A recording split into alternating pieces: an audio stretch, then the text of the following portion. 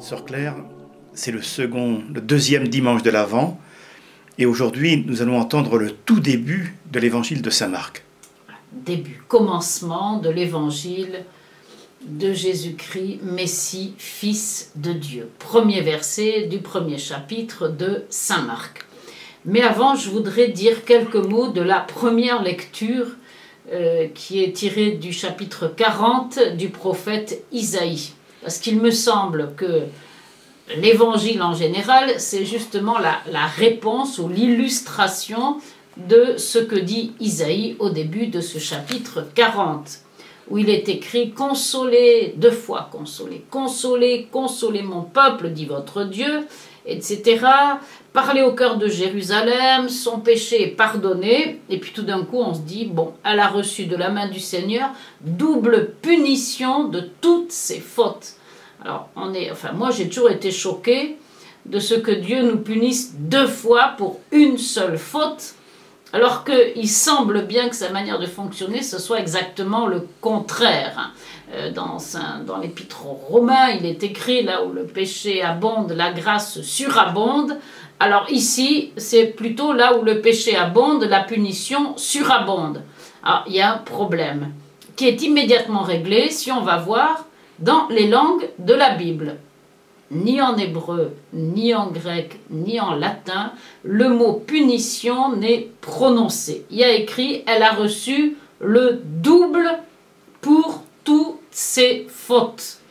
Et pour moi, ce double, c'est pas une double punition, c'est une double consolation, parce que le début du verset nous dit consoler, consoler mon peuple.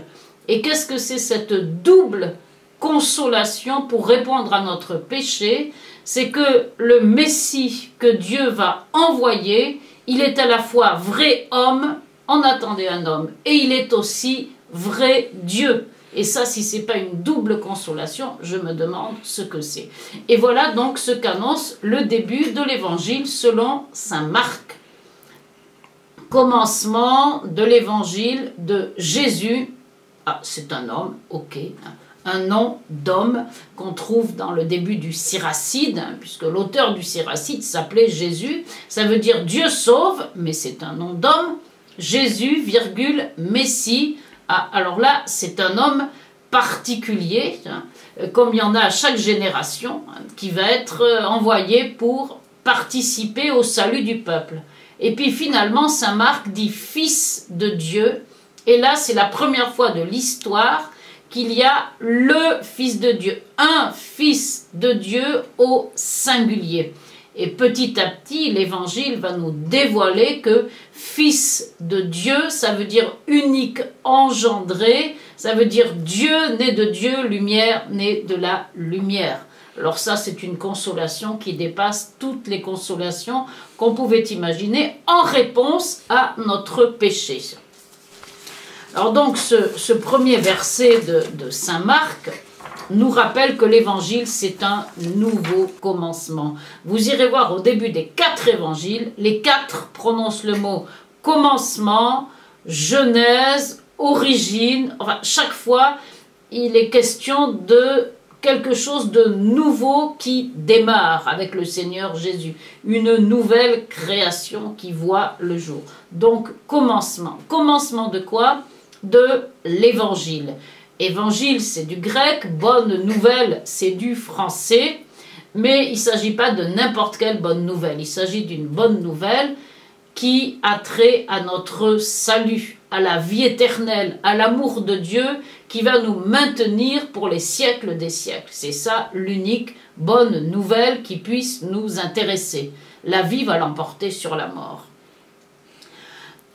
Tout de suite après, hein, au deuxième verset, Saint Marc rappelle que Dieu est fidèle. Chaque fois qu'il est écrit, euh, comme il est écrit dans le livre du prophète, etc., ça veut dire ce que Dieu a annoncé, il l'accomplit. Jésus remplit de sens les Écritures et manifeste la fidélité de Dieu. Vous avez tout de suite après hein, le l'arrivée de Jean le Baptiste. Euh, à travers le désert, il prêchait Et on nous dit, il, prêchait, il baptisait, ça veut dire qu'il plongeait les gens dans les eaux du Jourdain pour leur demander de se convertir, de se repentir. Euh, c'était pas notre baptême à nous, hein, on en reparlera. C'était un baptême de purification des péchés, c'était déjà formidable. C'était un baptême qui préparait l'accueil de Jésus, Messie, Fils de Dieu. Alors, Jean-Baptiste, je voudrais parler, dire trois mots de son vêtement et de son régime alimentaire. On nous dit au, au verset 6 que Jean-Baptiste était vêtu de poils de chameau, d'une ceinture de peau autour des reins, qu'il mangeait des sauterelles et du miel sauvage. Son vêtement, c'est ni plus ni moins que le vêtement des prophètes de l'Ancien Testament, et en particulier le, le vêtement du prophète Élie. Si vous allez voir dans le deuxième livre des rois, premier chapitre, verset 8, on voit arriver quelqu'un de loin. Ah, mais on dit, il est habillé de peau de bête, de peau de chameau. C'est Élie le prophète. Dans Zacharie aussi, on dit que les prophètes revêtent des manteaux de poils pour mentir. Bon, ça c'est autre chose. Euh, c'est Zacharie 13, 4. En tout cas, Jean-Baptiste s'habille de cette manière pour dire je suis un prophète. Ça faisait 400 ans qu'il n'y en avait plus. Donc il a besoin d'annoncer clairement qu'il est un prophète qui, de la part de Dieu, prépare la venue du Messie. Ça, c'est pour sa tenue vestimentaire. Quant à son régime alimentaire, on dit qu'il mangeait des sauterelles et du miel sauvage. peut-être que c'est tout ce qu'il trouvait euh, dans le désert, encore que, enfin, c'est pas un désert très éloigné euh, d'Oasis, de Jéricho par exemple, où il y a tout ce qu'on veut comme nourriture.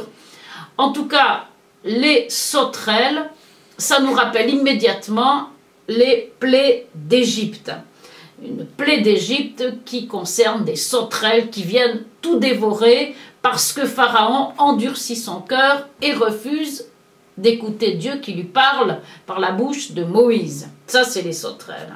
Le miel sauvage ou le miel pur ou tout ce que vous voulez, dans la Bible, qu'est-ce que c'est le miel? C'est la douceur de la parole de Dieu. Psaume 119, verset 103, hein. ta, ta parole est douce comme le miel. Ça, ça veut dire que Jean-Baptiste est un vrai prophète.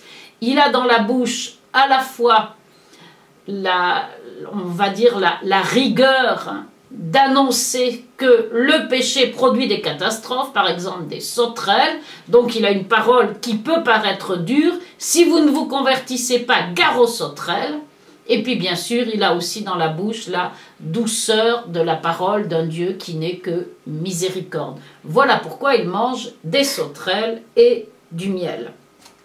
Je voudrais terminer avec l'histoire des sandales. Il annonce que Jésus est plus fort que lui, il annonce celui qui vient derrière lui qui est plus fort que lui, et il dit, je suis même pas capable, en me baissant, d'enlever la courroie de ses sandales alors qu'on aurait attendu, je suis tout juste digne d'enlever ses sandales. Je, suis comme son serviteur, comme son esclave. Non, mais il dit ça, je peux pas. La sandale ou les sandales dans la Bible, ça peut vouloir dire deux choses. Premièrement, la sandale du rédempteur, de celui qui, entre guillemets, rachète une femme pour lui donner une postérité, pour lui rendre sa dignité, pour lui donner une postérité, pour la réintroduire dans sa dignité de femme. Vous irez voir au livre de Ruth, chapitre 4, verset 7. Boz, il se retrouve avec une sandale dans la main parce qu'il veut épouser Ruth. Et deuxièmement, il est écrit aussi, alors au psaume 60 et au psaume 108, euh, je crois, dans les deux cas, verset 10, hein, c'est Dieu qui parle. Sur Édom, je jette ma sandale. Ça veut dire j'en suis propriétaire. Jésus, par lui tout a été fait, la terre lui appartient. Donc la terre n'appartient pas à Jean-Baptiste, Jean-Baptiste n'est pas rédempteur, donc les sandales du Seigneur, il ne peut pas y toucher. Sœur Claire, merci